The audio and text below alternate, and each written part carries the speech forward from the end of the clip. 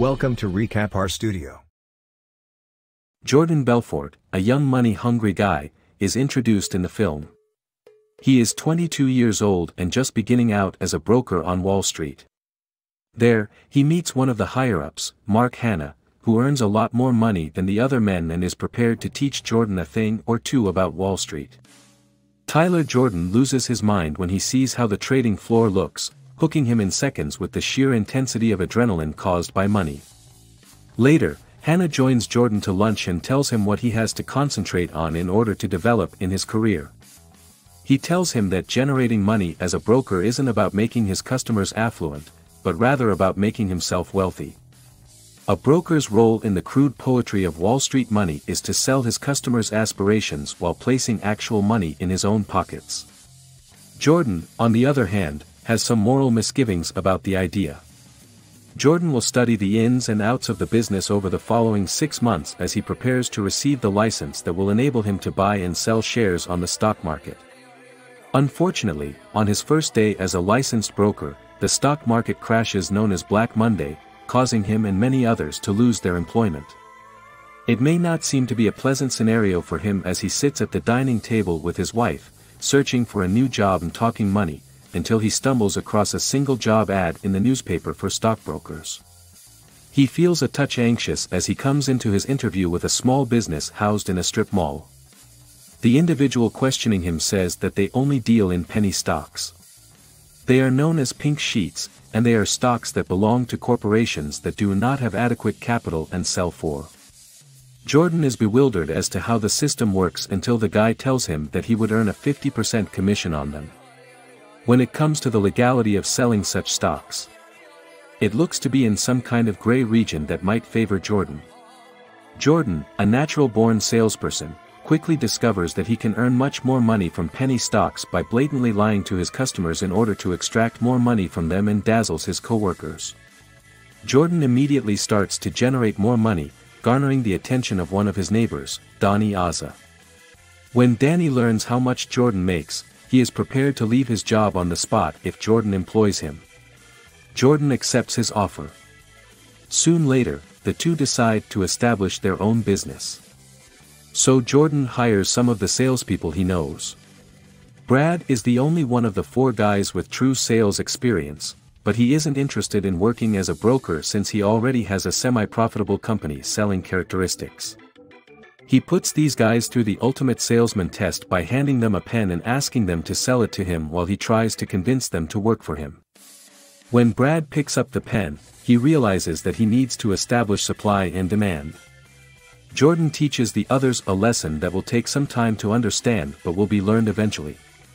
Aside from Donnie, the men he initially hires in his firm are Robbie Alden Chester and regrettably, they start to make money, but Jordan quickly realizes that they can make even more money if you can train his brokers to sound sophisticated enough to sell stocks to individuals with real money.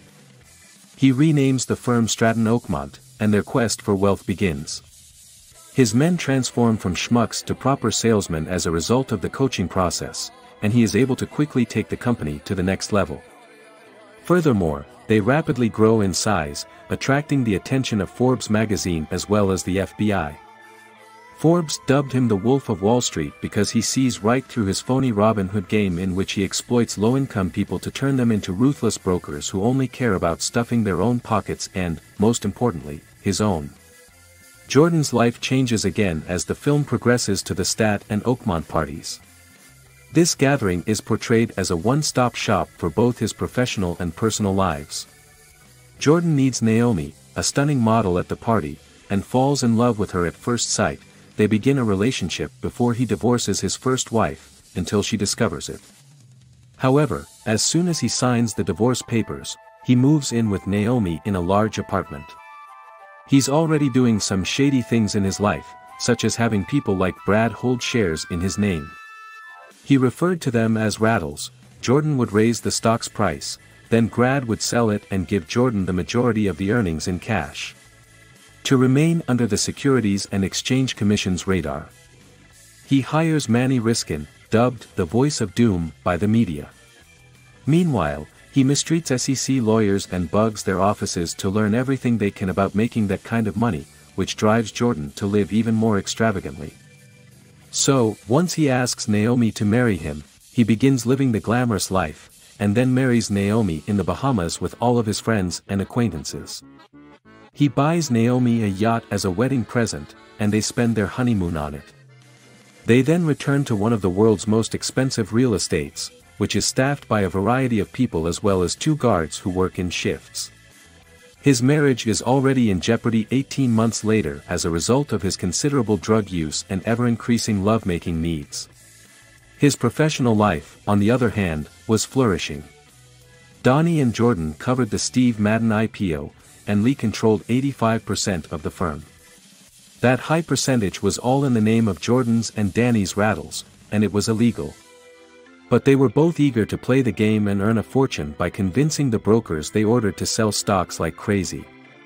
They were doing such a terrific job that the FBI's interest in the firm surged at the same pace as the value of Steve Madden shares. Agent Dennett was already keeping track of their progress as a company, noting how rapidly they were reaching new heights and Jordan growing wealthy. Jordan becomes concerned when he gets a call from the videographer who caught his wedding, informing him that the FBI has issued a subpoena for all of the video material. Jordan begins the talk easily, presenting Ben in a long list of his colleagues' names, but soon takes a detour, trying to bribe the agent to work for him. However, Denham states that bribery are not something he is interested in. Jordan becomes enraged at first, then panicked as he considers where and how he can hide his money from federal officials. Fortunately, robber at the newest Swiss banker. As a result, he was able to arrange for the two of them to meet in Switzerland. Jordan meets with Saurel, the banker who will be their temporary savior. He quickly familiarizes them with Swiss brokerage legislation and offers a few suggestions for workarounds and loopholes they should investigate. When it comes to storing money or preventing stock fraud, they merely need to use one of Jordan's airports with an EU passport and create a bank account in their name, making the account traceable. Jordan remembers Naomi's British and Emma, whom he used as a rattle for his money while the UK was still a member of the EU. He has little trouble persuading the lady who seemed to have developed an interest in him for some reason, and M wouldn't be radical enough for him and Donnie since they had a ludicrous amount of money that needed to be brought into Switzerland in cash. Jordan came up with the idea of employing Brad's new Slovenian wife Chantel. After one game trial, they realize it will take her an abnormal length of time to transfer all of their money to the Swiss bank. Brad enlists the help of Sean Till's whole family, all of whom hold Slovenian passports, as a backup plan. But one day, Donnie screws with Brett and finally gets the police on them as well. Brad is in prison as a result of Danny's ignorance, and he is sentenced to three months in prison for failing to rate him out risk. Brad then encourages Jordan to negotiate a deal with the SEC and step down from his position in the firm, leaving Donnie to operate because Jordan is constantly being watched. He urges Jordan to plead guilty to a few counts and pay a few penalties so that the SEC would no longer pursue him. Jordan's father advises him to accept the arrangement in order to preserve his skin before it's too late. Jordan initially agrees, but after returning to the workplace and seeing all of his colleagues, he changes his mind. Everyone is pulling for him and proving to be exceedingly loyal. Meanwhile, despite being instructed not to leave the country, Jordan and Donnie decide to take their company with them and operate it from Italy. Soon later, remorse reaches them to notify them that Steve Madden is selling all of his shares.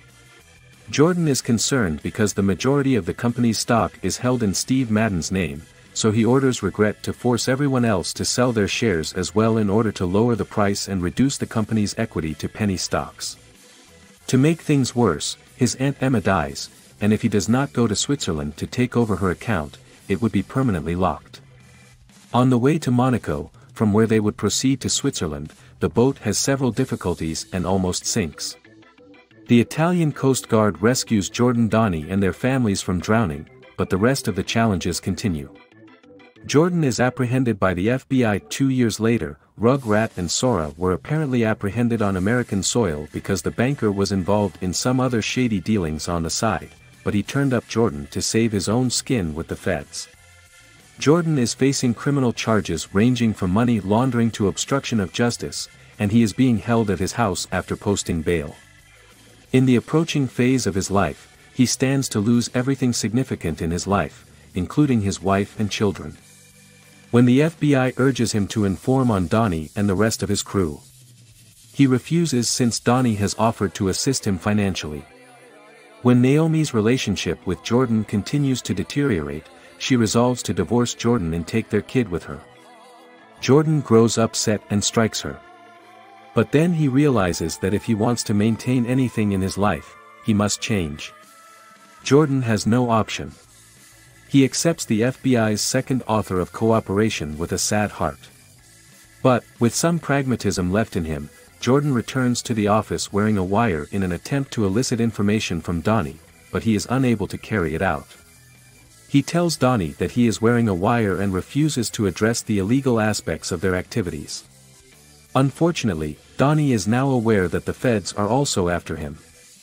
So he uses the same communication to report on Jordan and make amends with the